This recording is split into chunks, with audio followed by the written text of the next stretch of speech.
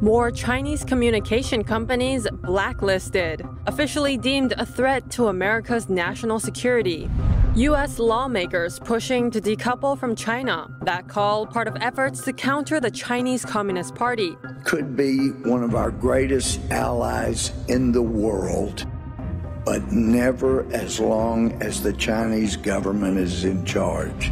A key U.S. agency is getting a new climate cop, one who studied at a Beijing controlled university. We dig into the officials' China ties.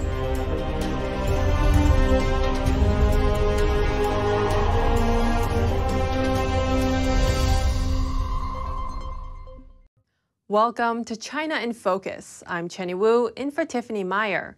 More Chinese communication companies are officially deemed a threat to U.S. national security.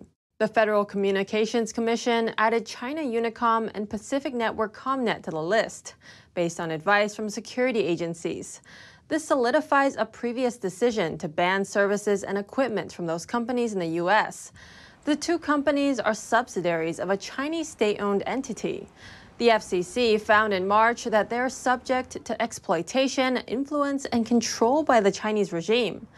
The agency says Pacific Network ComNet could give the Chinese Communist Party opportunities to, quote, access, monitor, store, and in some cases, disrupt and or misroute U.S. communications. Likewise, the FCC found in 2015 that China Unicom has the capability to listen in on phone calls and track the locations of its users. As the White House once more walks back President Biden's vow to defend Taiwan against the Chinese invasion, lawmakers and activists are warning against the threat Beijing poses to the U.S. NTD's Iris Tao has more on a forum at the Capitol. It is unbelievable how much funding we are doing of a communist country. Calling to decouple from China, Congressman Louie Gohmert joins a Tuesday forum inside the U.S. Capitol to highlight threats posed by the Chinese Communist Party. The problem with communism is atheism. Government must be God. And so people aren't free to seek and look for truth. I'm asking this question to myself are we really free or not? Also speaking at the forum, NBA free agent and human rights activist Enes Kanter Freedom. He shares about the pressure he faced here inside the U.S. for speaking out against Beijing. In game, one of my teammates woke up to me in a locker room and said, You know, this is your last year in NBA, right? Like, you know, you talk about the Chinese government, you talk about, you calling out Nike, you're calling out some of the players who are bowing down to these dictatorships, your career is over. Freedom tells NTD that China is undermining freedoms in the U.S. by infiltrating Wall Street, NBA, Hollywood, and even government institutions. No one can invade uh, USA from the outside but they're trying to invade USA from the inside. Meanwhile, Chinese Foreign Minister Wang Yi on Monday called for greater cooperation between the two countries, saying it will benefit both China and the U.S. But Congressman Gohmert says this about China. This could be one of our greatest allies in the world, could be our greatest ally, but never as long as the Chinese government is in charge. Reporting in Washington, D.C., Iris Tao, NTD News. A key bureau under the Treasury Department is getting a new chief climate officer. The new climate cop, Yuan Chen, studied at a Communist Party controlled university in China. NTD's Juliet Song has more on that. The department Chen works for is crucial. It's called the Office of the Comptroller of the Currency. The bureau is America's banking regulator. It supervises and regulates all national banks, federal savings associations, and federal branches of foreign banks. Yue Chen's responsibilities include focusing on climate risk management frameworks for the federal banking system. She will report to acting controller Michael Hsu. Chen got her bachelor's degree from China's Tsinghua University. The university hosts laboratories linked to the Chinese military. And one of its key research areas is defense, including missiles and artificial intelligence. It's also supervised by a defense industry agency for the Chinese Communist Party. The regime controls Tsinghua University through a Communist Party committee. In a speech this July, the head of the committee, Qiu Yong, reminded all of the party members about the importance of being loyal to the Communist Party. He said he hopes all party members will forever take the party's leadership, direction, and will as their own. It's unclear if Yue Chen is a Communist Party member. NTD has reached out to the Office of the Comptroller of the Currency, but did not immediately receive a reply. Juliet Song, NTD News.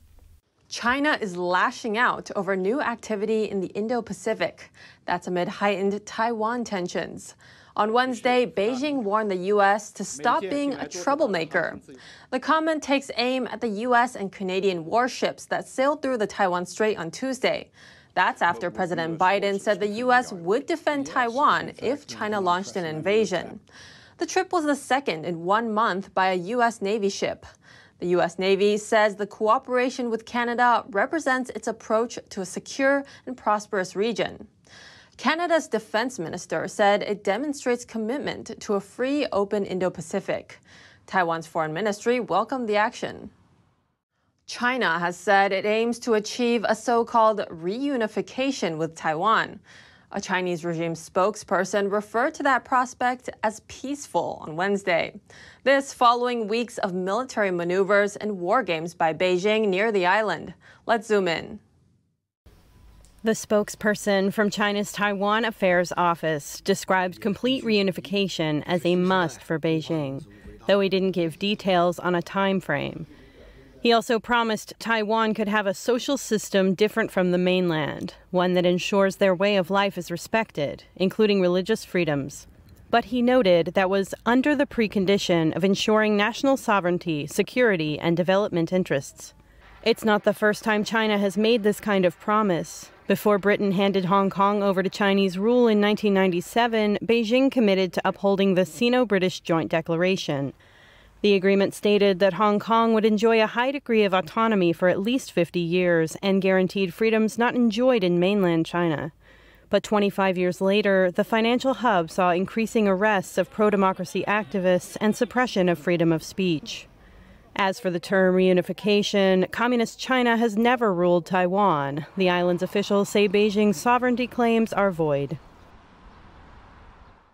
Hong Kong police arrested a man who paid tribute to Queen Elizabeth. He was taken in for alleged sedition. The man was seen playing songs on a harmonica, including a tune called Glory to Hong Kong. It's the anthem of the pro democracy protests that rocked the city in 2019. A crowd gathered and sang along as the man played. Police said he was detained late Monday near the British consulate in Hong Kong. He's being investigated on suspicion of what authorities called committing an act with seditious intent, as dozens of people had gathered to remember the late monarch. Queen Elizabeth ruled the city before 1997 when the then British colony was handed over to Chinese rule. America and its allies are looking to counter China's influence in the Pacific. Among the latest efforts, joint drills have launched in Fiji, an island country in the South Pacific. Let's take a closer look. Also joining the drill, Britain, Australia, and New Zealand. The military exercise is aimed at countering Beijing's growing influence in the region. Uh, we now face challenges that needs a collective whole to address, We address them together. Competition between Beijing and the U.S. in the region has intensified since the Chinese regime signed a security deal with the Solomon Islands. The West is concerned that the deal could pave the way for a Chinese military base just 1,000 miles off Australia's coast. Both the Solomon Islands and China deny the possibility, but the island country has grown closer to China. In August, the Solomon Islands briefly blocked foreign naval vessels from docking at its ports. When I talk about threats, I talk about natural disasters. I talk about illegal fishing, and I talk about uh, other traditional non-state actors which try and, um, and um, destabilize this part of the world. The drill is set to wrap up this Friday. Meanwhile, Australia is taking steps to increase engagement with the region. It plans to set up a defense school to train neighboring armies. That's in response to China's potential military presence in the Solomon Islands. Leaders of the UK and Japan have resolved to work together to counter the threat from Communist China. The agreement was reached on the sidelines of the UN General Assembly in New York. The UK's new Prime Minister, Liz Truss, just concluded a meeting with her Japanese counterpart, Fumio Kishida. According to a spokesman, she condemned China's provocations towards Taiwan, which are also a threat to Japan's special economic zones. Both leaders agreed to work together in the face of the threat from China. They also agreed that cooperation among democracies is important to tackle both economic and security threats from authoritarian regimes. The UK and Japan are among the most important U.S. allies in Europe and Asia. That's all for today's China in Focus on YouTube. We're now sharing a shortened version of our program here, after being demonetized for more than a year. Here's what to look out for in our second half. Fentanyl kills over 100,000 people in a year in the US, and most of the drug's precursors come from China. What makes stopping its flow into the US so difficult? NTD's Tiffany Meyer sat down with Anders Corr, publisher of the Journal of Political Risk, to learn more about the political and economical factors involved. The full episode is available on our partner platform Epoch TV. To sign up, click the link down below. Thanks for watching China in Focus. I'm Chenny Wu, and see you tomorrow. Shen Yun Creations, the streaming platform from Shen Yun, featuring world class dance, past programs, and all original music.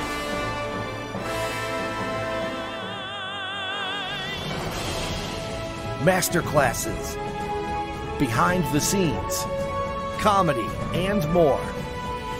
Explore ShenyunCreations.com.